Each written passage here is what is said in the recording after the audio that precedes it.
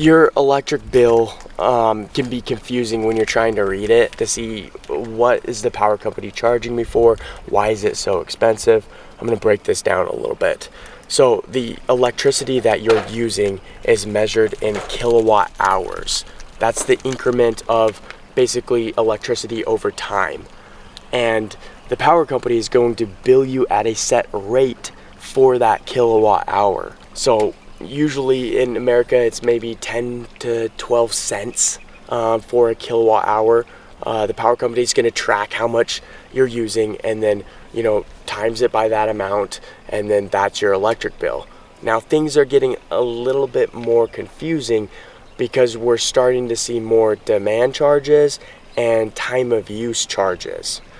This is starting with demand charges.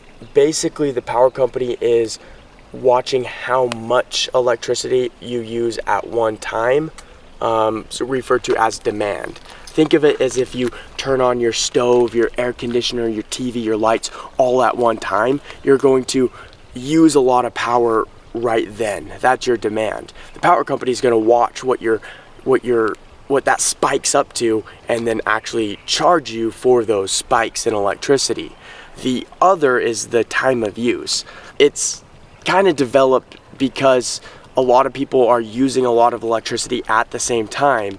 So they set periods during the day where electricity costs more.